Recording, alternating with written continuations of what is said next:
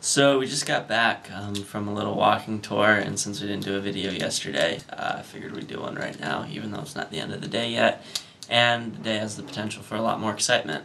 But we went uh, to the University Library at Cambridge and saw uh, an exhibit on John Milton, uh, which was neat. But then the really cool thing was Saint no Trinity College, uh, their library we got to go into and it is amazing. It was built in 1695 and just has ancient books. The oldest book they had uh, that was on display, which is the oldest book they actually have, was a an 8th century uh, Pauline epistles book uh, with all his epistles. And they had a lot of other cool stuff.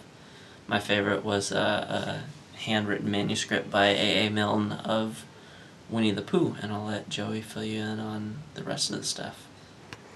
Yeah, like Ryan said, um, had a lot of really cool stuff, a lot of illuminated manuscripts with some biblical stuff in there.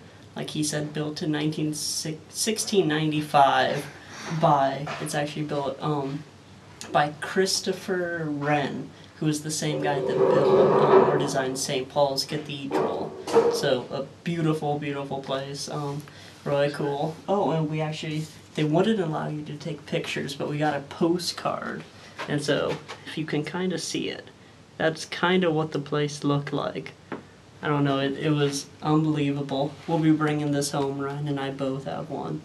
But an absolutely breathtaking, astonishing place. Um, yeah, sorry we didn't put up a thing yesterday, but like Ryan said, not a whole lot happened. I fell asleep early. Um, that's pretty much it. But day's only half over. It's only 12:30 here, so we may uh, be bringing you another video this evening. Okay, see you guys.